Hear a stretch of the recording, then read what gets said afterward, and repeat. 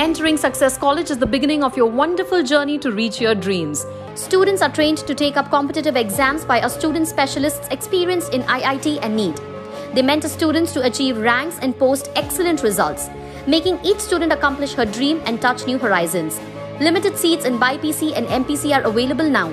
Step into success, step out a winner. Chairman A18 Telangana News, Muhammad Azam Ali.